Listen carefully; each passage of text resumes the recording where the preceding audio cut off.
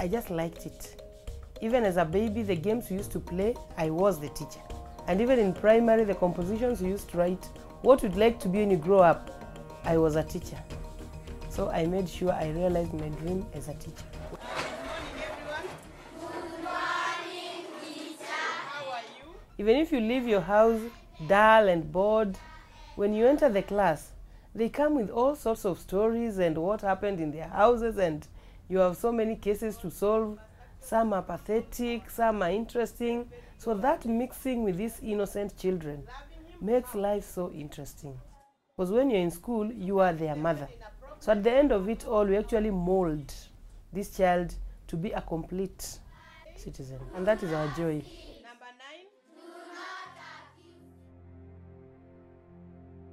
Some time back in 1998, I gave birth to a child, a very beautiful girl. When she was one year old, this child fell sick. So I decided to take her to hospital. I found somebody waiting for me. And she said, Your daughter is very much alive, though she's in the ICU, but out of danger.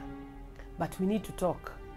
So she first started by apologizing, but she said that when we checked for her HIV status, your daughter was found to be HIV positive. I was shocked.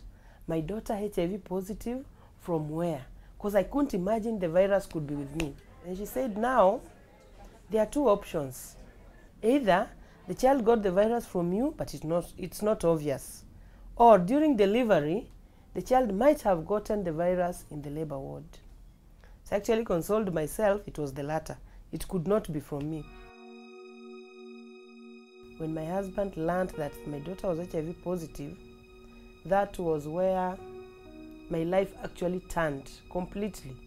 Because the guy did not talk, he stood up, picked the girl, and left. When he reached home, he just left the girl there and he went his way. Now, from that time, he was no longer the same.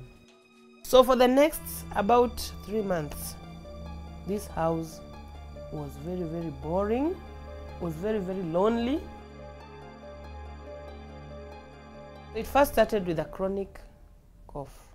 Then, my opportunistic infections came very, very rapidly, very fast. Within about a week, I had lost a lot of weight. And finally, the blow came when I now got a very bad skin rash. My husband came and he said, I want you to go for a HIV test. And I told him, I have no problem. I will go. But let us go, both of us. And he said, No, it's you to go. So I went to Aga Khan and drew my blood. When I went to the lab, I was told my results are with the doctor. I think I'm one of the persons who got my results in the worst way possible. There was no counseling, nothing. The doctor just ushered me to a seat and she said, Now, Beldina, I'm very sorry, but we've just confirmed what we were suspecting. That's how I was given my results. So I asked the doctor, What do you mean? And she said, I'm saying you're HIV positive. I was seated, but I got a blackout. Because what came to my mind were those days in Kenya when you, when you, when you died from AIDS, you'd actually, after being put in a coffin, you'd be wrapped with a black polythene and then you'd be given a government vehicle to escort you until where you'll be buried so that you're properly disposed. Huh? They feared that you would infect people on the way.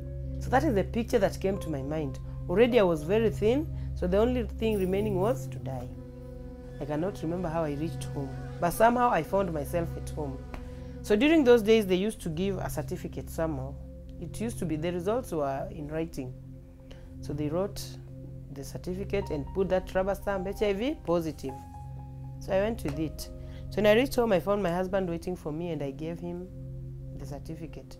So he looked at it and said, Gosh, do you know what this means? And I said, The doctor said I'm HIV positive. Now, do you know what it really means? And I said, No. She didn't say any other thing. And she said, Being HIV positive means you are dying. So I can't sit here and wait to bury two people at a time. You must let me go and go on with my life. What was I to say? And he stood and walked out. this is a man I really loved with all my heart. And I thought, in case of testing positive, we would actually sit down and look for a way forward. Here he is, he has taken off. And now the stigma now started in school. So even the friends that were so close to me now started keeping their distance. It's break time. There's usually tea break that all teachers take together in the staff room. So what I realized was that uh, cups had actually disappeared from the staff room. So I realized that teachers were picking cups. So during break time, they would come with those cups, take tea, wash the carpet, go with it back. They didn't trust the cups in the staff room again. So the stigma actually continued. And the following year, I got a blow from the head teacher. He literally removed me from the classroom. He did not allocate me any classroom, no subject, nothing. So I would come in the morning, sign, and go somewhere behind the, the, the, the, the, the staff room and sit there the whole day. Because if I'm in the staff room, no teacher will come. I deteriorated very, very fast. And in the year 2002, July, I actually went to full blown AIDS. And I was bedridden and was like, I was ready to die. So I, I was in bed for about six months.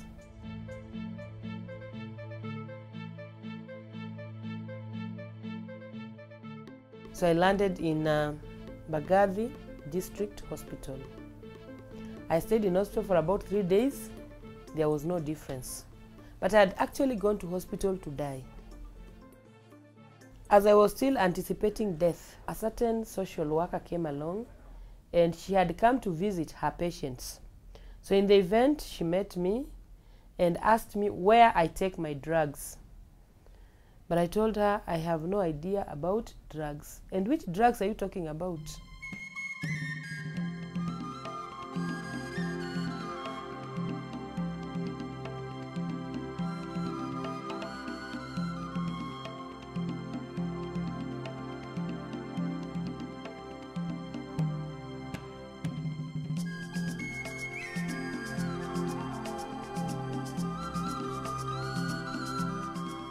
So immediately I was started on ARVs. Together with the Septrin, the opportunistic infection started going away slowly by slowly.